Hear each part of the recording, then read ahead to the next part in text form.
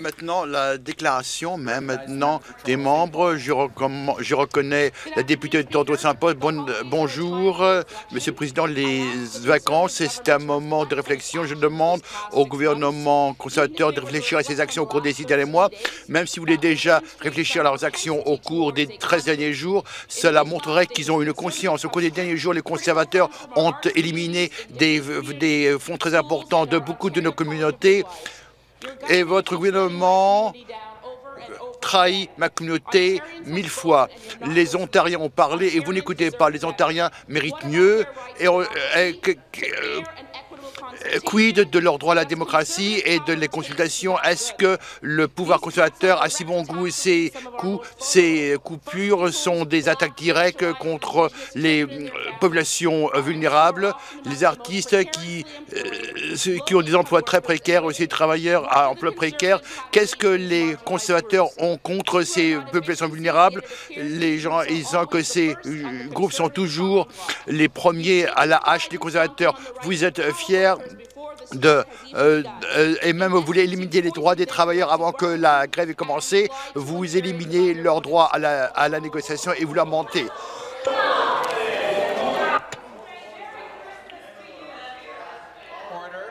Silence, s'il vous plaît. Silence, s'il vous plaît. Silence, s'il vous plaît.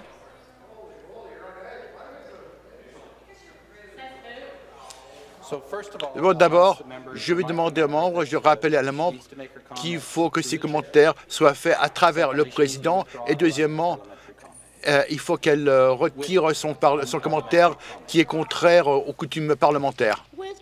Euh, donc, euh, je retire euh, ce que j'ai dit.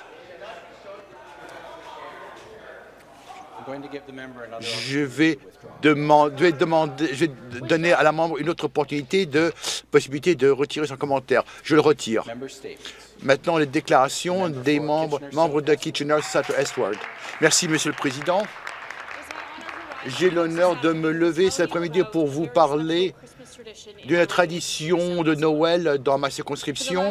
Au cours des 24 dernières années, la semaine, euh, le week-end après Noël, on a un tournoi de hockey sur glace. Les enfants qui viennent de la région viennent y participer. La possibilité d'une panne de courant pendant les vacances de Noël n'affecterait pas seulement les enfants chez eux, mais aussi leur possibilité euh, de participer à ce tournoi. Monsieur le Président,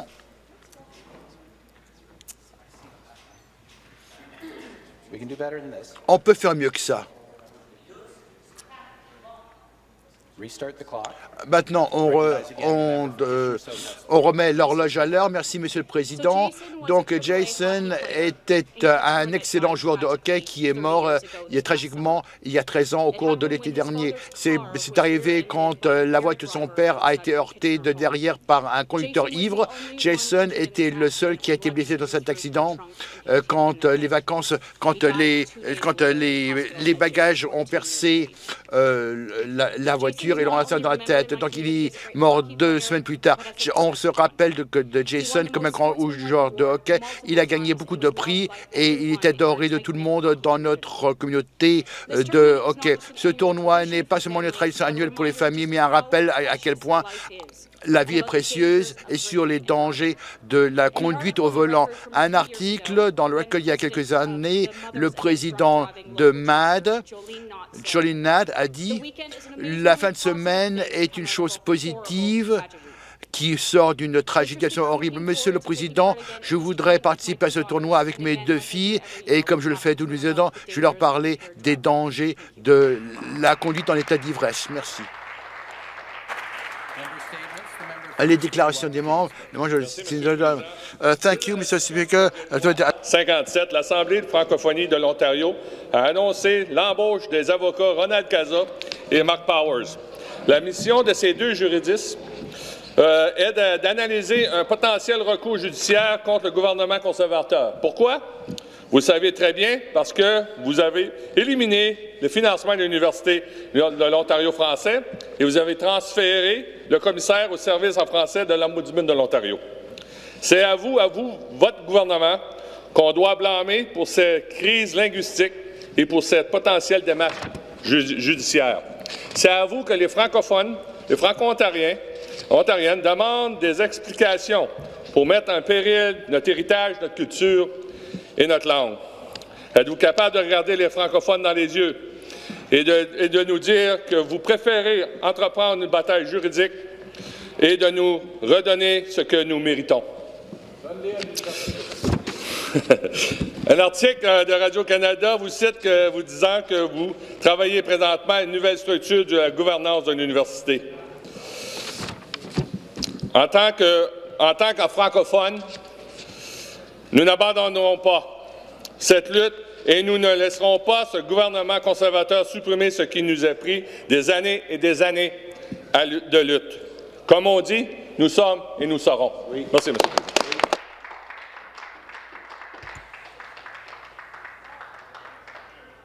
le Président. Springwater. Le membre de Barry Springwater. Euh, Merci, Monsieur le Président. Euh, puisque c'est la saison des Lumières et par exemple j'ai euh, circulé dans un autocar qui nous a euh, conduit dans un tour des Lumières euh, dans la région de Barrie avec Bonds Gross Research. Ils ont souhaité la bienvenue à tous les retraités des maisons de retraite sur l'autobus et on a demandé aux résidents d'allumer leur feu de Noël et les personnes âgées ont pu connaître la magie de Christmas et aussi le- les chants, les, les, les gâteaux à instiller une affaire de Noël. Et pendant que je vous rappelle l'isolation que- auquel euh, sont confrontées les personnes seules et l'occasion qu'on a d'amener les personnes âgées et leur donner un petit peu de lumière, de chaleur. Et donc, je, je, je Springwater, Washington, euh, volontaire avec euh, le, le centre de Huronia et une seigneur qui me rappelle qu'on on- à une époque où on, voit les choses et parfois on aurait souhaité que les choses se passent autrement. Je vais, euh, je vais euh, réserver une place sur le bus prochain. Ces ces constituants me rappellent quelles sont les ressources que nous avons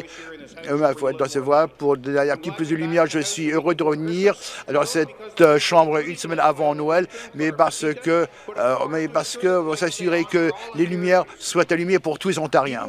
Même si on n'est pas d'accord, ce qui est souvent le cas, même quand l'opposition nous ralentit, ce qui est le cas aujourd'hui sur le projet de loi 67, je chercherai la lumière et donc euh, je et donc euh, je vous souhaite tous un joyeux Noël, un joyeux Noël illuminé.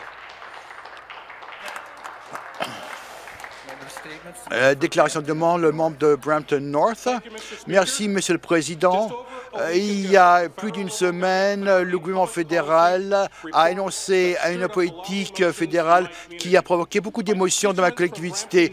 Et mes gens dans ma cir- circonscription et les euh, membres de la, de la communauté ici ont senti qu'ils ont été visés par ce rapport et ils ont, qui a estimé que cette population représentait une menace terroriste sans d'apporter de preuves à l'appui de cette déclaration. Je me lève ici pour dénoncer ce rapport.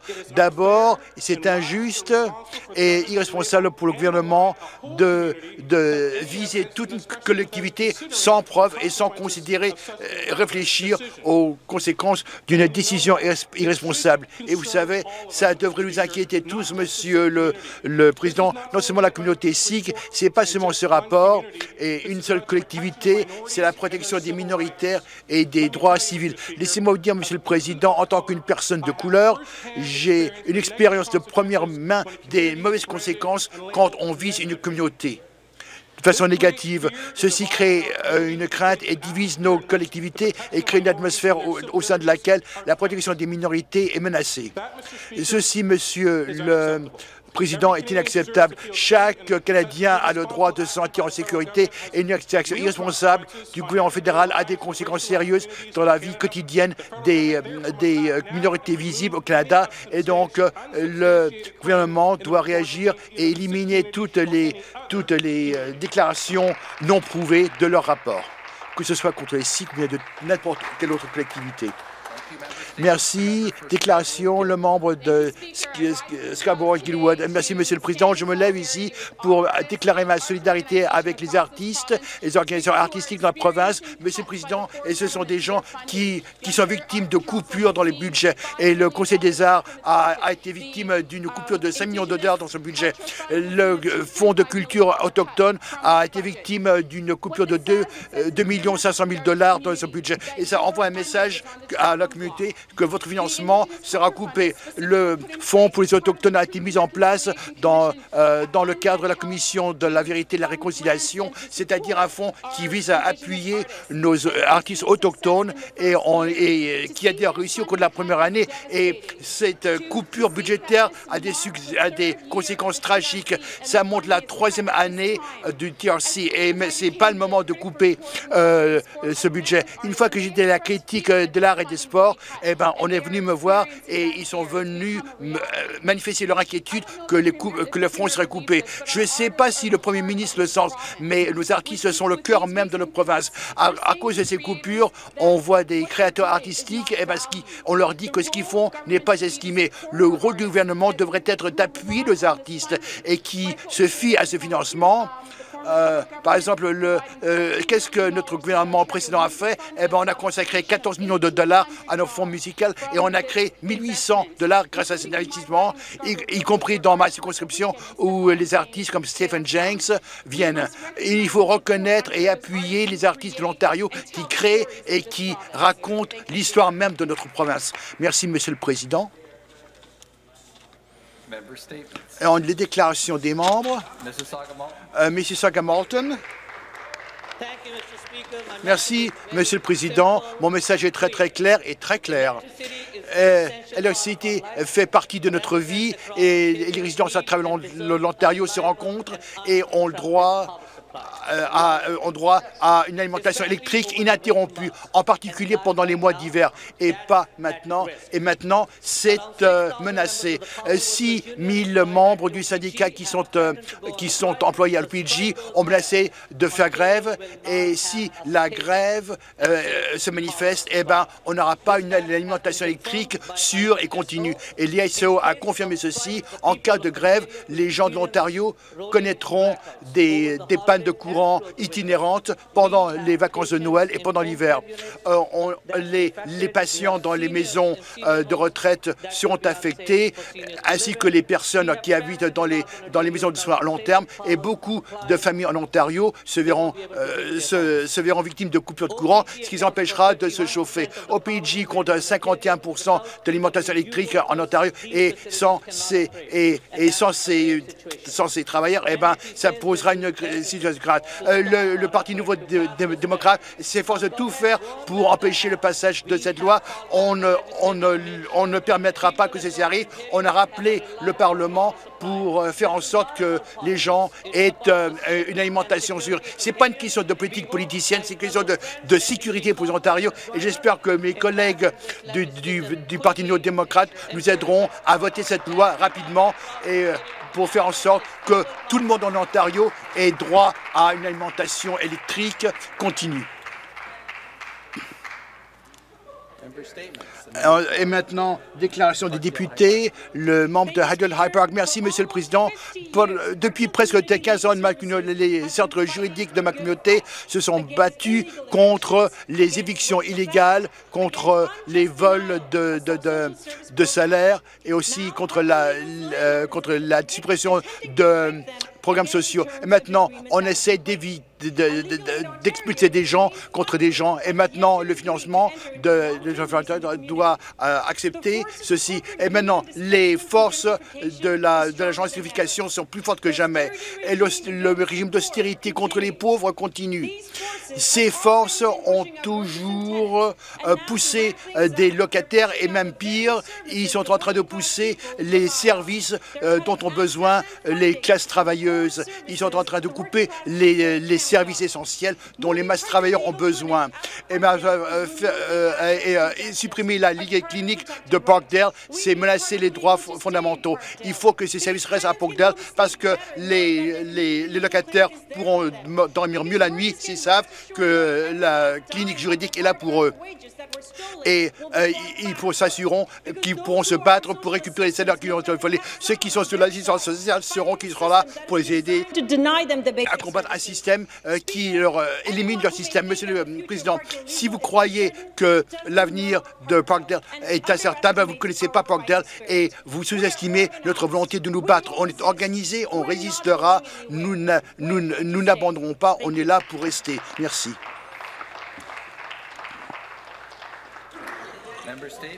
Déclaration des députés. membre York Center. Merci, Monsieur le Président. Monsieur le Président, je suis fier de représenter la circonscription de York Center qui est située euh, dans le nord-ouest de la circonscription. Il y a un établissement pour personnes âgées, comme d'autres immeubles. 6250 à Bathurst abrite des personnes âgées euh, qui ont des revenus faibles, qui ont survécu à la Seconde Guerre mondiale, mais qui sont euh, en difficulté. Néanmoins, pendant ces vacances de Noël, les esprits sont élevés. Beaucoup d'entre eux se rencontrent tous les jours dans, au rez-de-chaussée euh, peut-être pour une synagogue, ou bien pour, euh, pour, pour un déjeuner le dimanche, ou bien pour jouer aux échecs. Cette population vulnérable m'a envoyé à Queen's Park pour protéger leur bien-être et leur santé. Ils comptent sur moi, ils comptent sur chacun d'entre nous pour, pour faire en sorte que les lumières restent allumées et le chauffage aussi. Et je serai ici pour la soirée de Noël s'il le faut. Euh, et, nous n'irons nulle part jusqu'à ce qu'on fait passer cette loi pour s'assurer que les instruments de chauffage soient allumés, les lumières aussi, à 62, 50 à Bathurst. Les gens nous ont envoyés ici et on fera ce qu'il faut. Et on sera là et on va voter pour le projet de loi 67. Et dans le temps qui me reste, Monsieur le Président, je voudrais euh, souhaiter à vous-même et à tous les membres de cette, euh, de, de cette Chambre un joyeux Noël et une bonne et joyeuse année.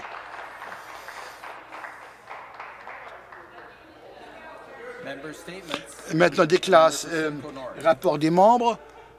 Merci, Monsieur le Président. Au cours des deux fins de semaine, mon équipe et moi, on a servi des repas chauds et euh, dans, le centre commercial euh, dans le cadre des vacances de Noël, notre levée de fonds, on a levé euh, des fonds pour une banque à Oriel et pour combattre l'insécurité alimentaire pendant ces saisons des fêtes. Notre, notre week-end prochain, c'est le dernier week-end pour lever des fonds et on est très, très heureux de faire notre part dans la collectivité. Mais on s'inquiète de la grève des, et on ne sait pas si on pourra terminer notre travail dans la collectivité et dans le cadre de notre, de notre levée de fonds, on voudrait que les, la nourriture soit fraîche et les restaurants qui ont préparé la nourriture ont besoin d'aliments, d'électricité pour préparer les, les, repas. On a besoin d'électricité pour rester ouvert. Pas seulement je suis fier de faire partie d'une collectivité où les membres dans la circonscription viennent ensemble pour aider les résidents en difficulté, mais je suis fier de, de faire partie d'un gouvernement qui a travaillé dur pour les gens de l'Ontario et se battre pour s'assurer que les gens dans l'Ontario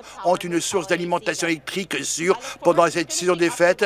Et je voudrais terminer le travail qu'on a fait pour notre levée de fonds. Et je voudrais prendre un moment pour euh, remercier mes bénévoles qui ont euh, fait le cadeau de leur temps, ainsi que les restaurants et les, les entreprises qui ont fait don de leurs services pour nous aider à mettre fin à la fin dans notre collectivité. Je suis fier d'une résidence de Simconor où on travaille de concert, euh, où, on, on, s'aide l'un l'autre et je suis fier de faire partie du gouvernement qui a pris une, une action résolue pour veiller que les lumières restent allumées pour les personnes âgées, les entreprises donc, je voulais souhaiter un joyeux Noël et aussi mes meilleurs voeux pour 2019. Merci beaucoup. C'est la conclusion.